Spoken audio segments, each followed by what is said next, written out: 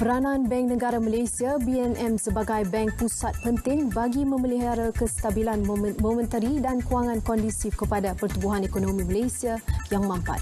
Menurut Gabenor BNM Datuk Nur Samsiah Muhammad Yunus, untuk melaksanakan mandat itu dengan baik, peranan BNM yang bebas dan profesional membolehkannya memberi ketumpuan kepada perspektif ekonomi dan sistem kewangan untuk jangka panjang. Bank Pusat yang bertindak sebagai pelindung dan pemegang amanah sistem kewangan negara akan terus memegang mandat yang diberikan dan menjadikannya keadaan kedamaian walau berdepan cabaran persekitaran global.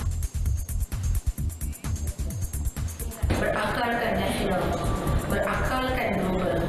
Bank Negara Malaysia akan memastikan langkah-langkah yang diambil seiring dengan peredaran masa untuk memberikan perkhidmatan yang berkualiti tinggi penuh dan demi kepentingan negara. Beliau berkata demikian pada majlis perasmian pameran terbaru Muzium dan Galeri Seni Bank Negara Malaysia. Majlis disempurnakan yang di-Pertuan Besar Negeri Sembilan Darul Khusus Tuanku Muhriz Ibni Almarhum Tuanku Munawir.